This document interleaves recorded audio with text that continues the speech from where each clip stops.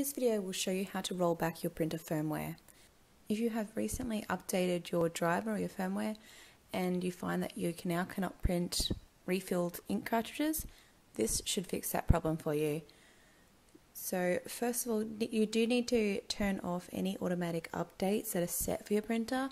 You can do that via your computer on the control center or you can do that on your printer itself on most models.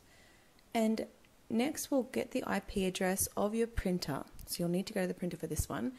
And this is so that you can remotely reinstall the drivers on your computer without having to connect via USB. All you have to do is go into Tools from the home screen and then click on the Wi-Fi button. You can see there TCP slash IP and there's your IP address second down. So write that one down and now on your computer go into control panel and hardware and sound devices and printers. Find your printer and we're going to right click on it and then select remove device. This will delete the drivers and disconnect your printer obviously from your computer. Now go to support.brother.com and click downloads and then select your printer, choose your operating system, and we're going to select full software package. Just check the release date there on the right to make sure it is before 2015.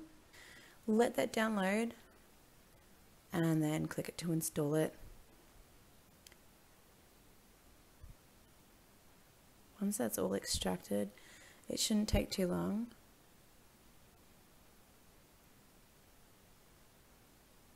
Okay, so it's all installing and I'll just show you what I do to run through the install process. You might want to select obviously different answers here.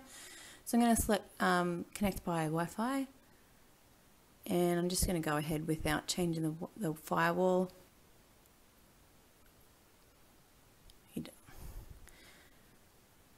Okay, so just select which ones you want to install.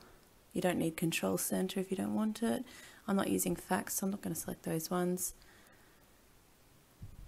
Okay, now you can select if you want to have a pin, so if you have multiple computers where you can send your scans to.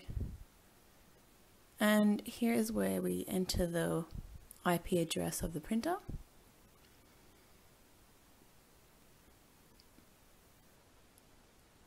Okay, and now it's just installing. Super easy. Of course, you don't need to connect it via Wi-Fi. I was just being lazy. You can also connect it by USB. All good.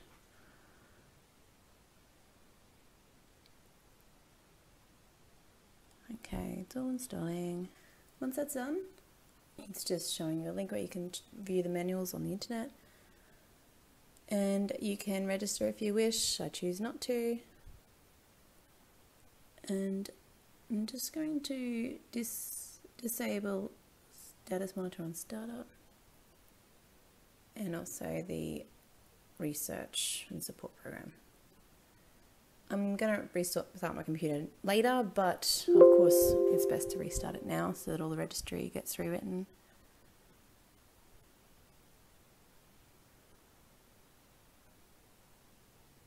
And I'm just going to now right click on the printer, printer properties, and we're going to print a test page just to make sure it's all connected.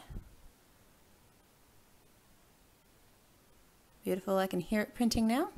So that's all you need to do and now we have the older driver installed. Of course the most important thing here is do not select automatic updates. So make sure you get that disabled.